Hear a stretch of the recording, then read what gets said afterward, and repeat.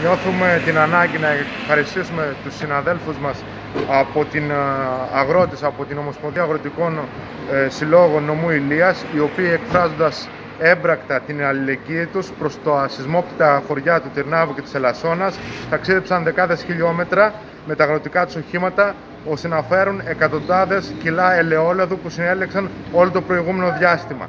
Η αλληλεγγύη δεν σταματάει δεν σταματάει εδώ, συνεχίζεται στους καθημερινούς αγώνες με τα αιτήματα που έχουμε με το, με το δυνάμωμα του, του συντονισμού μέσω της Πανελλαδικής Επιτροπής των Μπλόκων. Εμείς καλέσαμε τον κόσμο της Ηλίας, ε, τους αγρότες κυρίως και όλο τον κόσμο και τα λαϊκά στρώματα της περιοχής μας να στηρίξουμε, ε, να είμαστε αλληλέγγυοι στη, στους σεισμοπαθείς της περιοχής εδώ του Τυρνάβου Ελασσόνας.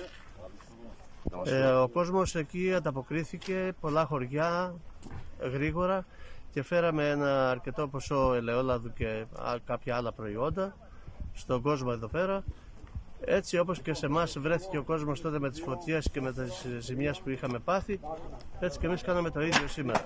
Θα ήθελα να ευχαριστήσω την Ομοσπονδία του Αγροτικού Συλλόγου του Νομού Ηλίας ε, ευχαριστούμε για την συμπαράσταση καταρχήν την ψυχολογική που οι, οι άνθρωποι φτάσαν από εκεί κάτω σε εμάς εδώ στο Δαμάσι. Ευχαριστούμε για τα υλικά αγαθά τους, να τους έχει ο Θεός καλά και γνωρίζουν οι άνθρωποι από σεισμούς, άρα λοιπόν έχουν να δηλώσω το εξής ότι οι σπουδαίοι άνθρωποι αναγνωρίζονται από αυτές τις προσπάθειες επειδή είναι γνώστες των θεμάτων. Σας ευχαριστώ πολύ, να είστε καλά.